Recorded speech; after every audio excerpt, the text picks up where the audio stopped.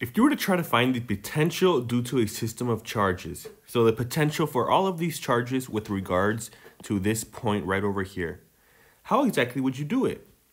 Well, the way in which this is done is you basically find the potential for each point charge, and then all you do at the end is you add them up.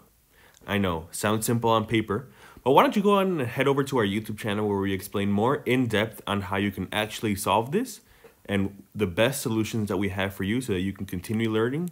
and it makes it a whole lot easier.